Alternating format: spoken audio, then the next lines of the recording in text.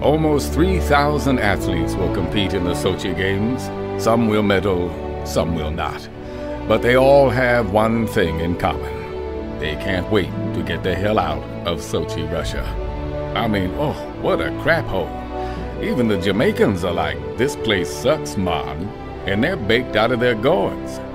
All I know is if Sochi qualifies as a host city, get your bid ready for 2018 Detroit.